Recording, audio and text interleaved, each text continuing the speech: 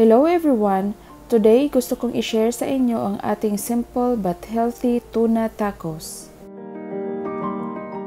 Pero kung bago ka pa sa aking channel, huwag mong kalimutang i-hit ang subscribe button para ma-notify ka kung meron akong mga bagong videos.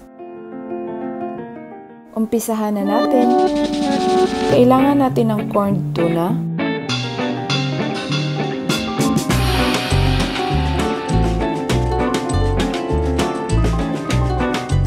taco seasoning,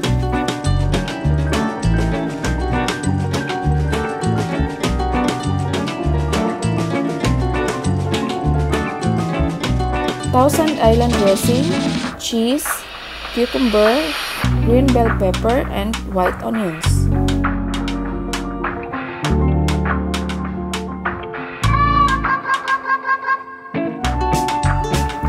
Your choice of lettuce, and of course, taco shells.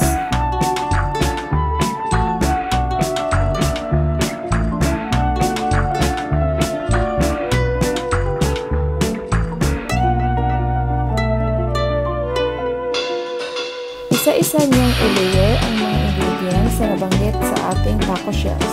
You can also add ingredients na gusto niyo na wala sa nabanggit ko. Remember to wash your hands properly kung hahawakan niyo ang mga ingredients katulad ko.